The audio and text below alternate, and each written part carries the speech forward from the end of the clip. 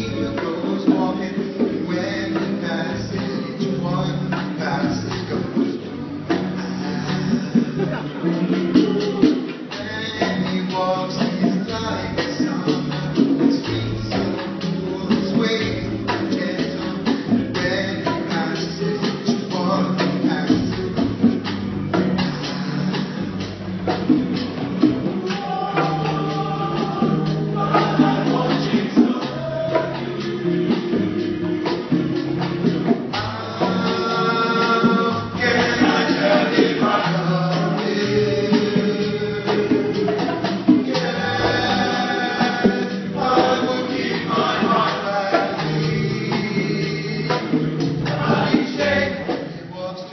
See He looks not at me.